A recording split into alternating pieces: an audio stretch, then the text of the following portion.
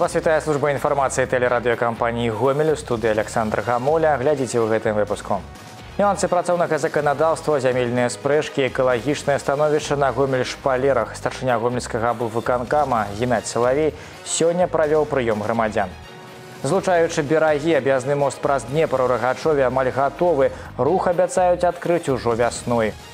Жывая гісторыя. Больш як 3000 экспанатаў налічвае музей у звычайнай школе добружскага раёна.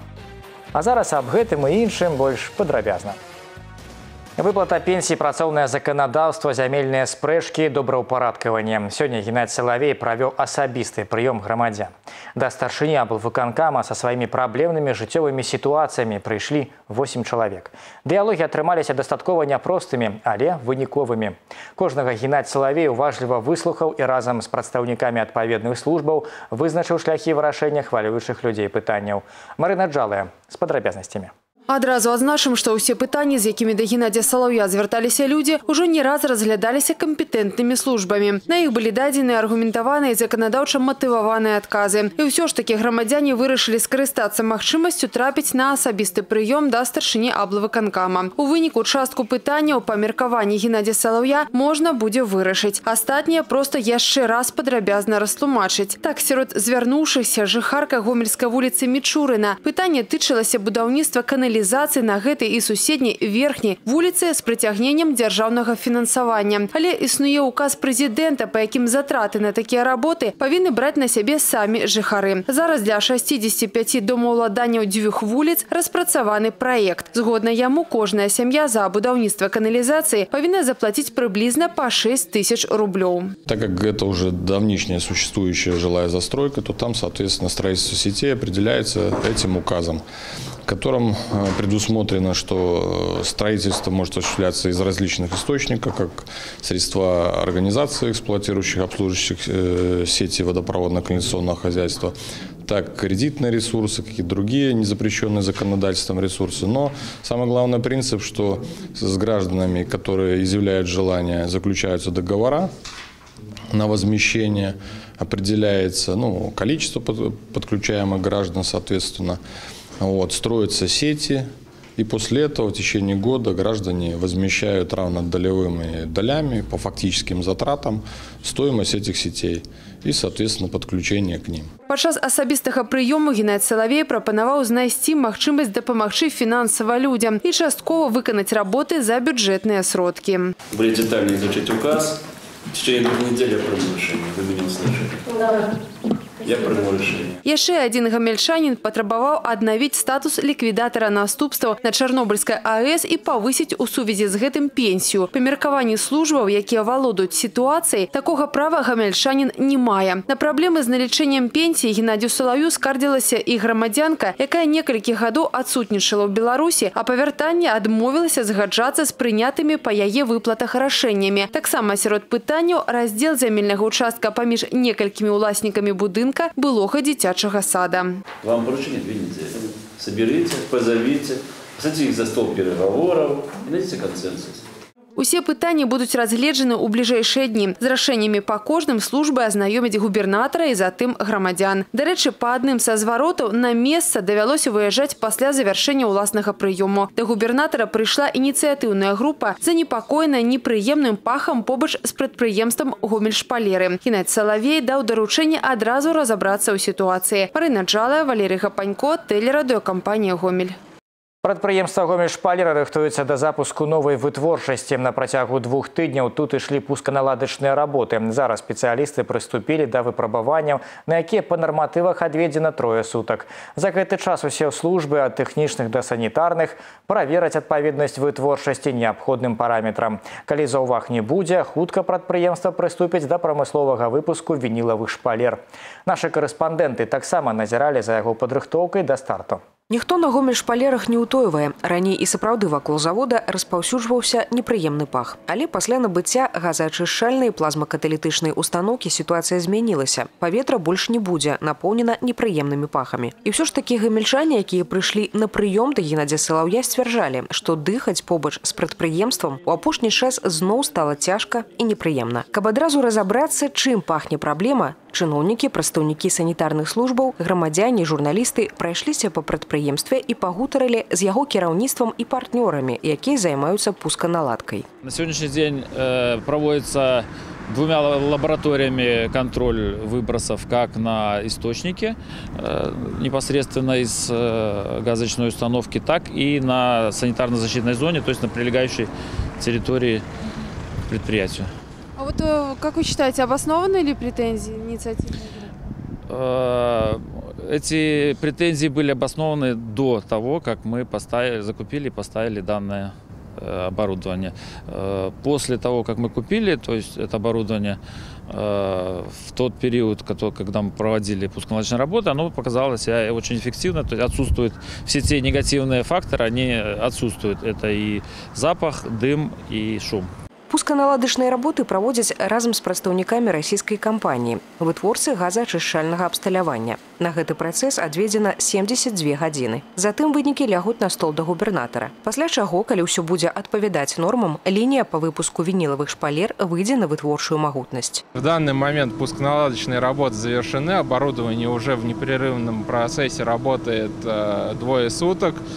Э, Пусконаладка у нас длилась порядка двух недель. Были определенные нюансы для синхронизации с технологической линией, для объединения там, тепловых потоков. Ну, свои э, специфичные моменты, потому что линия работает непрерывно, оборудование технологически сложное, процесс технологически сложный. Што тычыцца паху, на які ў сваім звароце да губернатара скардзіліся члены ініцыятыўнай групы гамельчан, то такія моманты сапраўды ёсць. Гэта асаблівасці пусканаладачных работ, калі правяраліся розныя рэжымы працы лініі. Пры фіксаванні паху работы спыняліся і праводзілася дадатковая рэгуліроўка абсталявання. Мы все же, как говорится, делаем общее дело.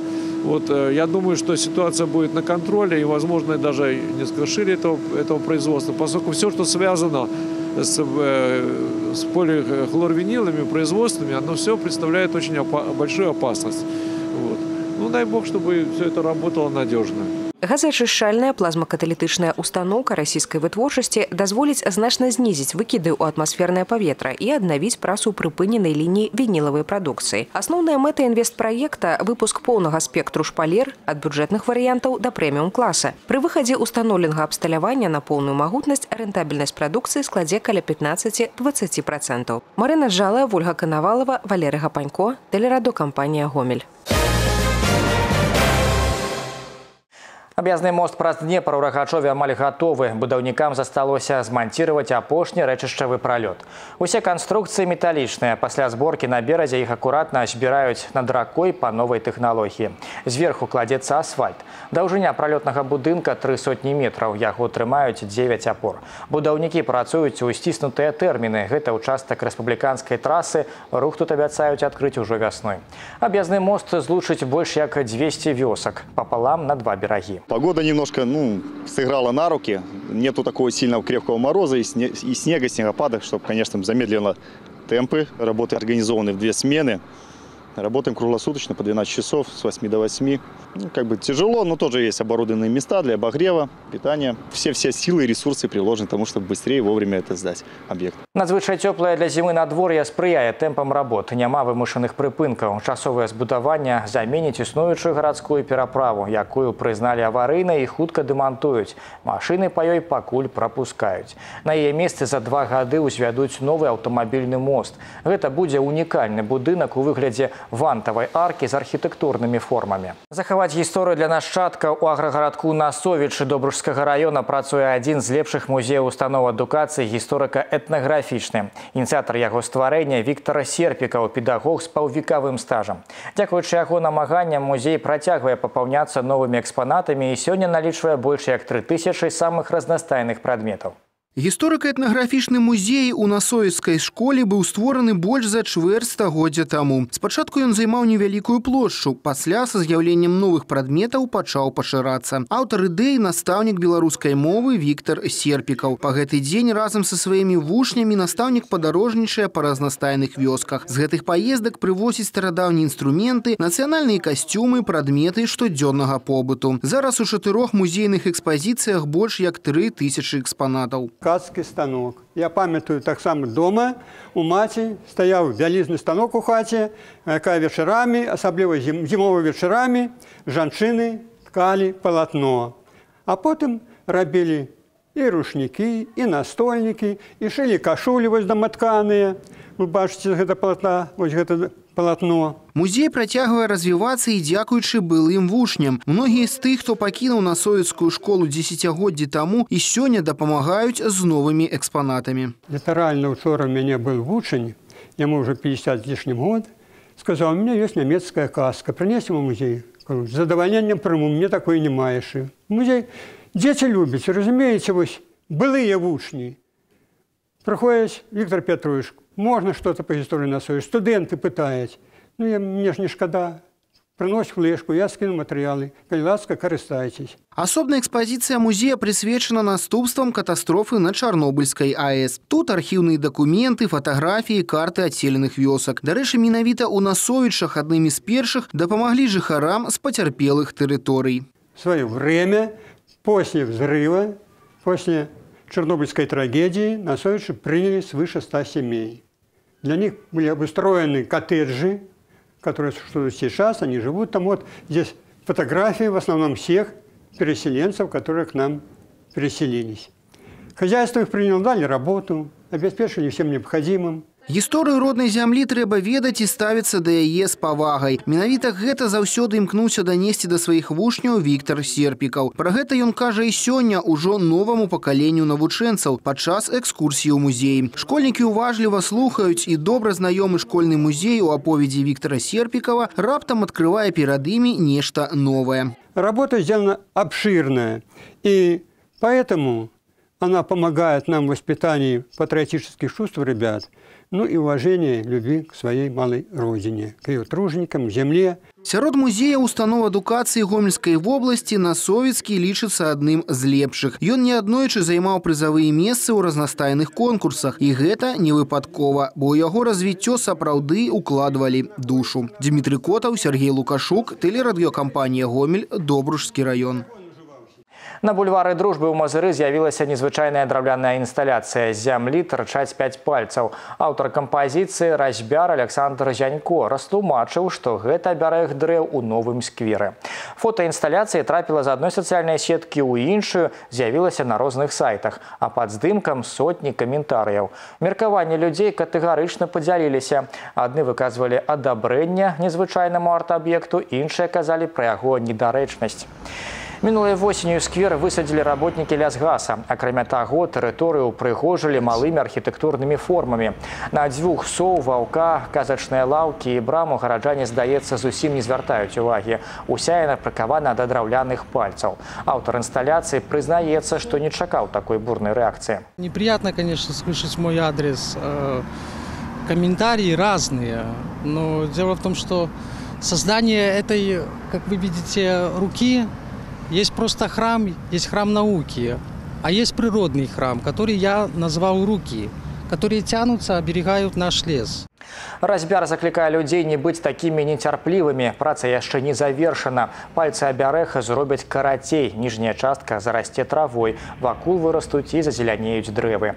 Галоўнае, каб кампазіцыя дачакалася вясны. Іміджавы пакой МНС адкрыўся ў раённай бальніцы Буда Кашалёва. Пад яго адвялі месца ў дзіцячай кансультацыі. Сцены ўпрыгожваюць папулярныя персанажы мультфільма «Чароўная кніга». У памяшканні ёсць мадэлі выратавальнай тэхнікі, тэматычныя пазлы, буклеты і брашуры, размалёўкі і многае іншае. На ўстаноўленым камп'ютары можна не толькі паглядзець карысныя відэафільмы, але і прайсці тэсты па бяспецы. Асноўная мэта стварэння іміджавай зоны ў гульнявой форме навучаць дзяцей правільным дзеянням пры надзвычайных сітуацыях. Таксама пакой арыентаваны на прафілактыку траўматызму і гібелі дзяцей ад знешніх прычын і фарміравання культуры бяспечных паводзінаў у маленькіх грамадзян. У гомельскім філіяле універсітэта грамадзянскай абароны МНС адбыўся абласны этап інтэлектуальнай гульні Брэйн-рынг. Спаборніцтвы сабралі 8 каманд юных выратавальнікаў пажарных. Пытанні для гульцоў тычыліся бяспекі жыццядзейнасці, гістарычных фактаў, звязаных з пажарнай службай розных краін і найноўшых распрацовак аварыйна-выратавальных падраздзяленняў. Па выніках гульні максімальную колькасць балаў набрала каманда ліцэя МНС, якая ўдзельнічала па-за конкурсам. Трэцяе месца заняла каманда сярэдняй школы нумар адзін петрыкаўскага раёна. На другім юныя выратавальнікі з 9 гомельскай школы. А золата ў каманды красненскай сярэдняй школы гомельскага раёна. У Гомель прыбудзе праваслаўная святыня, абраз свяцителя Філарэта Маскоўскага з частіца яго мошчаў. Сустрэча адбудзецца ў нядзелю 9 лютага ў 8 гадзін 30 хвілін у храме свяцителя Лукі Крымскага па вуліцы Лізюковых 5. На працягу дня пройдуць святочныя набажэнствы. У 9 гадзін боская літургія, затым малебны свяцителю філарэту і акафест. Рэліквія прыбудзе ў храм на пастаяннае захоўванне. Мітрапаліт маскоўскі філарэт выбітны багаслоў 19 стагоддзя. 46 гадоў узначальваў рускую праваслаўную царкву. Яго мошчы з'яўляюцца галоўнай святыняй храма Хрыста Збавіцеля ў Маскве. Гэта і іншыя навіны інфармацыю аб праектах тэлерадыёкампаніі гомель вы можете знайсці на нашым сайце ў інтэрнэце па адрасе трайную w кропка тивергомел кропка бівай на гэтым выпуск завершана ўсяго добрага сачыце за эфіром Де-факто на телеканале «Беларусь-4» в студии Руслан Габрилев. Здравствуйте. Спланировал ограбление, да прогадал с целью. Гамельчанин помог пенсионеру дойти до квартиры, а потом вырвал у него сумку и сбежал. В присвоенной поклаже ничего ценного не оказалось. Дело было днем. 83-летний мужчина возвращался из магазина. К нему подошел незнакомец и предложил помочь дойти до дома. Тот согласился. Когда мужчины поднялись к квартире, пенсионер попытался достать ключи из сумки. В этот момент незнакомец выхватил чужое имущество и убежал. Сотрудники милиции, к которым обратился пострадавший, оперативно среагировали и уже вечером грабителя задержали. Им оказался 53-летний гамельчанин. В украденной сумке он нашел лишь ключи и конфеты, поэтому выкинул ее в вместе с содержимым. В отношении злоумышленника возбуждено уголовное дело. Два дорожно-транспортных происшествия с участием велосипедистов за сутки. Оба произошли на крупных трассах региона. Есть жертвы. Так, в Реческом районе 47-летний водитель за рулем Сиата Толеда ехал со стороны Калинковичей по автодороге М10, граница Российской Федерации Гомель-Кобрин. При встречном разъезде машина сбила велосипедиста, который двигался по проезжей части дороги в попутном направлении. Пострадавшего госпитализировали ликвидировали. Второе ДТП произошло в Рогачевском районе на трассе М5 Минск-Гомель. Водитель Рено Меган, 31-летний минчанин, ехал в направлении нашего областного центра в крайней левой полосе. При переезде пешеходного перехода мужчина не заметил велосипедиста, который переходил дорогу и сбил его. Пострадавший скончался на месте ДТП. Госавтоинспекция ведет поиск очевидцев дорожно-транспортного происшествия, которое произошло ночью 4 января в Гомеле на пересечении улиц Барыкина и Украинской. Тогда водитель автомобиля Mitsubishi Galant насмерть сбил пешехода. Граждан, располагающих какой-либо информацией о данном происшествии, просят сообщить в ГАИ по телефонам, которые вы видите на своих экранах. Это все новости к этому часу. С происшествиями знакомил Руслан Габрилев. Благодарю за внимание. До свидания. На телеканале «Беларусь-4 Гомель» новости спорта в студии Максим Савин. Здравствуйте. В Гомеле проходит первый тур республиканской спартакиады детско-юношеских спортивных школ по гандболу. Соревнуются девочки в возрасте 15 лет и моложе. На паркете Дворца игровых видов спорта за победу борется 9 команд. Две из них представляют Гомель. Это воспитанницы Центра Олимпийского резерва по игровым видам спорта и Дю США номер 10. Максимального представительства достичь не удалось. Не приехали в Гомель представители Витебской области. На предварительном этапе команды разделены на две группы. Призовые места спорят в стыковых поединках. После двух игровых дней уже определились фавориты. Если э, смотреть по результатам первых двух э, дней соревнований, то Явными лидерами являются команды Арцуара города Минска, команда Гродно и команда детской спортивной школы номер 10 города Гомеля. Именно они в последний день разыграют, э, видимо, э, призовые места. Победители и призеры первого тура спартакиады Дюс США станут известны 7 февраля. Второй тур состоится осенью. В Молодечно завершилось молодежное первенство Беларуси по боксу. Состязались спортсмены 2002-2003 годов рождения. В активе спортсменов из Гомельской области 18 наград. Победительницами турнира стали гомельчанки Екатерина Езерская и Юлия Бутилина, а также мазырянка Татьяна Жданова. Кроме того, в активе девушек из нашего региона три серебряные и три бронзовые награды награды. У парней также три золота. Виталий Старинский, Александр Каревский и Виталий Останин победили в своих весовых категориях. Также завоевано два серебра и три бронзы. Воспитанники из Дюшоргом Сельмаш выиграли командное первенство республиканской спартакиады Дю США по настольному теннису, которое завершилось в Гомеле. В состязаниях юношей на верхнюю ступень пьедестала почета поднялись Максим Ляхов и Никон Шутов. Также ребята победили в парных состязаниях личного первенства. В одиночном разряде Максим Ляхов выиграл серебро, Никон Шутов стал третьим. Кроме того, у Ляхова золотая награда в смешанном парном разряде. В Гомельском областном центре Олимпийского резерва по теннису завершился турнир памяти Альберта Шагиняна среди спортсменов до 14 и 16 лет. В младшей возрастной категории Владиславы Фоминой золотые награды в одиночном и парном разрядах. Подобный дубль и у Всеволода Цхая. У юношей до 16 лет победил Алексей Хамротов, у девушек Дарья Сибелева. Также она стала первой и в парном разряде. На этом пока все. С новостями спорта вас знакомил Максим Савин. Оставайтесь на Беларусь 4.